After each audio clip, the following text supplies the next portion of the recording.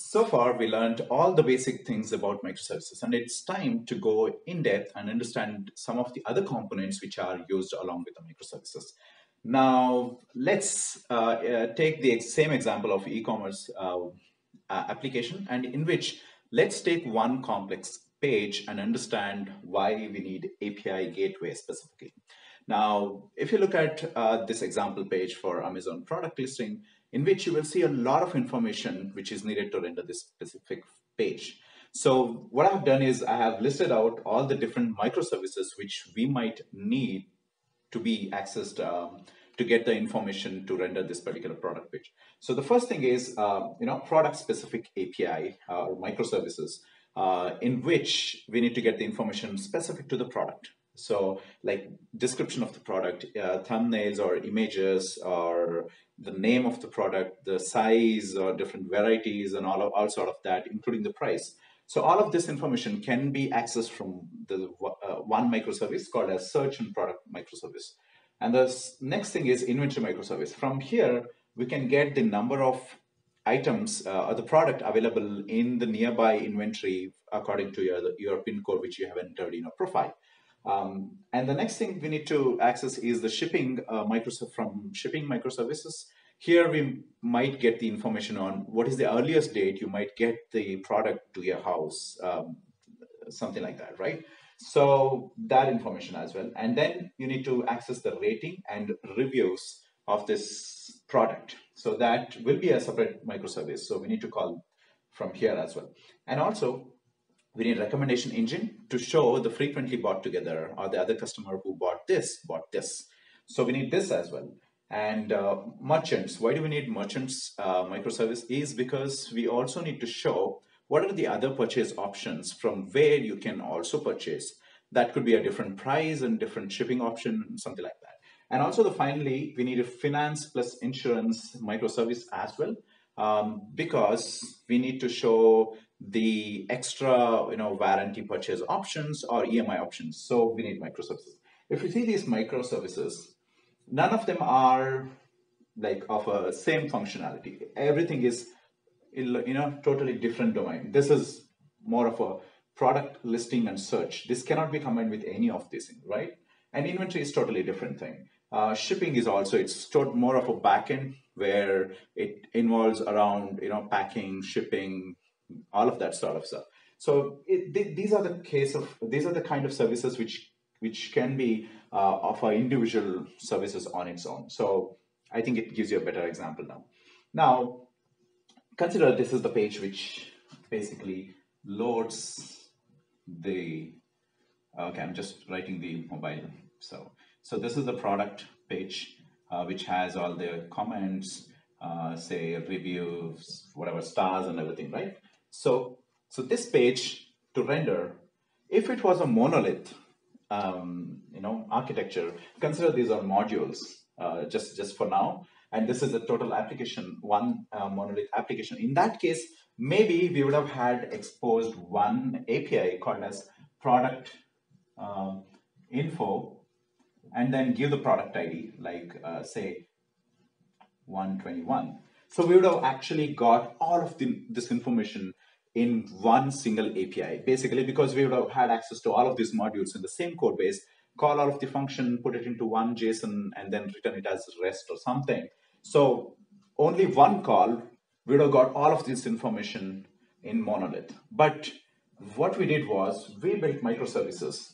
So we, you know, decomposed monolith app to microservices. So we have these many microservices everything is deployed separately. Now what has to happen is you will have to call independently each services. That comes the first uh, pattern of accessing is direct call.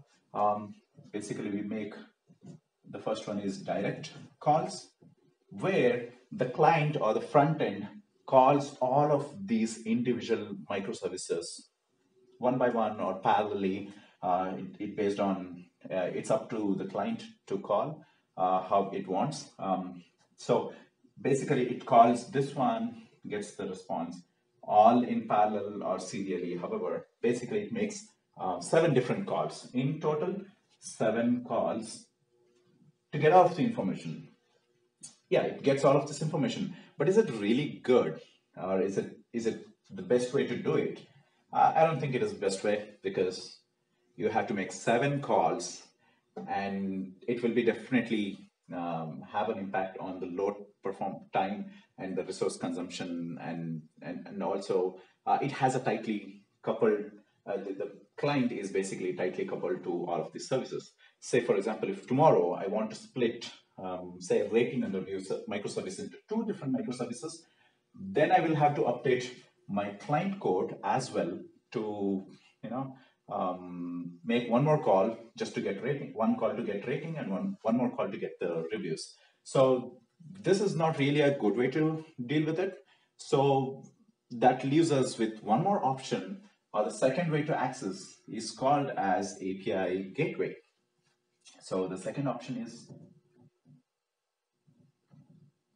API gateway and that's what this video is about. Uh, like what is the use of API gateway? Okay.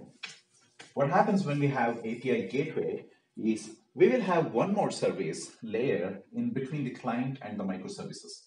So let's call this service as called as API gateway. What happens now is anything or everything, this is, this is like a front uh, facing service for all of the microservices we have. It. So any client who wants to access the microservice, now we don't have the capability or we don't have, uh, we can't really access this microservice directly. Instead, what we have to do is the client has to make a call to API gateway. And the API gateway in turn makes a call to all of the services and gets the whatever information we might need. We can actually make seven different calls to get this seven information, or we can write or we can configure API gateway or expose one API like in monolith, like product info on the API gateway an API gateway internally can make seven different calls to the microservices and get all of combine all of the information and gives back that information with one call to the client. Since this API gateway and all of these microservices are on the same network, it shouldn't take too much time to make these calls as well. Definitely there is a hop, but it shouldn't take too much time. And also API gateway can make a parallel calls to get this information. So it is much faster, okay? um, since it is parallel. Um, or if there are use cases where you have to make two serial calls one after one because of some updates or something like that, you can actually configure all of that in API Gateway. Basically, like you first call the search product and based on that, some information which we get it, you might need to make six different calls once this call is finished. That's also possible. There are so many other, uh, you know, um, advantages uh, in using API Gateway. I'm going to talk about it after this. So the, this is the idea of API Gateway. It is the it, it will sit in between the client and the microservices, and it acts as a gateway for all of these microservices. And uh, let's talk about the advantages and disadvantages later. And there is one more access pattern called as uh, BFF, which is which is a variant of API Gateway. Uh, this is called as backend uh, for front end. This is not best friend forever or whatever. It's it's called as backend for front end, which is sort of API gateway pattern, which is little different, which serves little different use cases. It's somewhat similar, but instead of just having one API gateway for all of the services, we can have one more API gateway only for mobile, okay, maybe consider this is for mobile, then one more API gateway is specifically for web. Or we might have one more API gateway, which is for third party only. Okay, and all of these API gateways will have different domains to access. Okay, so in this case, all the mobile phone, mobile apps, and web, uh, mobile web websites will basically make a call to API, mobile API gateway and get the information, whatever it is configured for this URL. And similarly, if we are making a call from web, then the request will go to API gateway web and then get the same information from the same microservices. And similarly, if any third-party sites wants to get this information for integration or something, they all actually make a call to API, you know, third-party API gateway, and these will basically make a call, and then Compose um, combines all of this information and gives gives it back. Okay, so this is basically is the back backend for front end um, pattern, and and what are the advantages of using backend for front end um, uh, gateway is? Say for example, uh, for mobile, it's really not worth it to pull all of this information at once. Instead, we can make it such a way that first it, it is going to pull all of the information which is shown in the top. And then once they scroll it, maybe it will fetch all of the other information. Or maybe if the mobile is on 2G network, we might trim down some of the information. Or we, if, if, the, if the mobile is on Wi-Fi, it behaves differently. So we can have different kind of combinations um, uh, specifically designed for different kinds of devices. So we can have a different gateways to uh, you know make this behavior differently for different devices. Um, so that's that's one possible options which we can use mobile sorry API gateways for.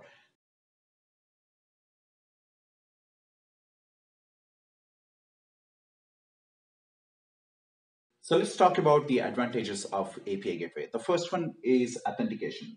What can happen is, say, for example, if I have an API gateway here, and the client is making a call to API gateway, and in turn, this is happening, right?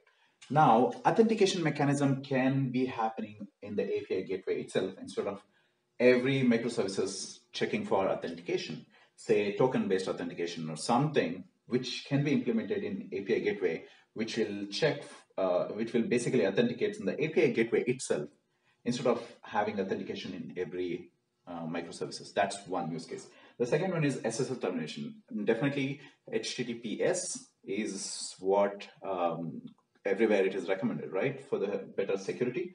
Now, if I'm making a call from the client using HTTPS, it doesn't has to be HTTPS until the microservices. What we can actually do is the HTTPS can be verified only in the API gateway and all the internal calls could be only HTTP because it's much simpler. You don't need to set up all the you know HTTPS um, certificates and everything on all of these microservices. These services will basically work only using HTTP, but the API gateway will work on HTTPS. So SSL termination basically happens on this API gateway layer itself and all of the subsequent calls from the API gateway will basically use this HTTP. And also one more advantage is the, for, for the clients, they only use HTTPS or HTTP. But from API gateway, it need not to be always HTTP. It can be WebSocket, it could be uh, whatever, whatever you want. It could be even HTTPS, or it could be a you know um, RPC call, anything. So basically the internally you can use whatever protocol you want to in different ports as well.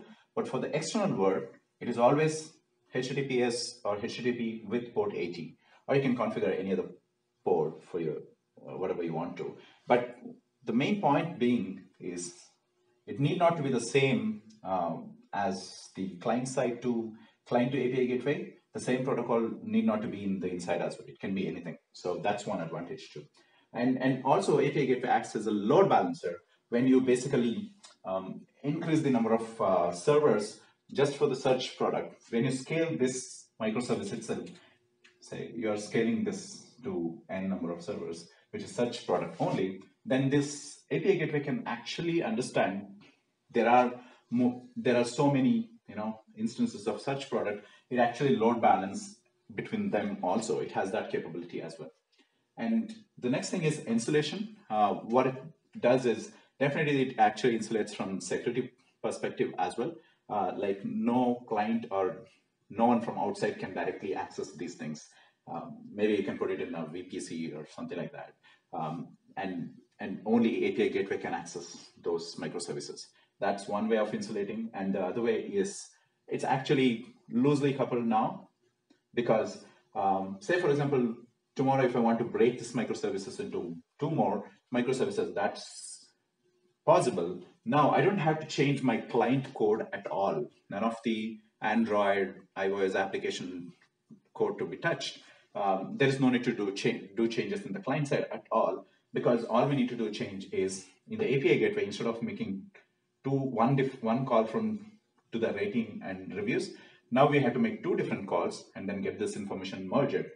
And even if the, the structure or the response of these services changes, we can always do the translation transformation to the uh, standard structure which the clients are consumed. So that way also it is insulated. And maybe today you would have implemented these as like seven different services. Tomorrow, if you think that, okay, we don't really need two different microservices for one for recommendation and one for, so, sorry, let's take a different example. One for shipping and one for the inventory. Maybe if you want to merge these two, you can do that and just make one call to the service which gets both of the information.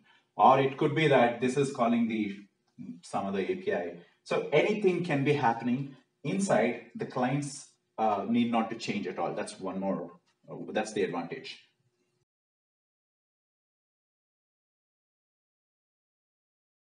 So, so what are the disadvantages of the API gateway? The, the disadvantage of API gateway is, first one is increases the hops, right? Instead of directly accessing it, it's a one call and you would have got it.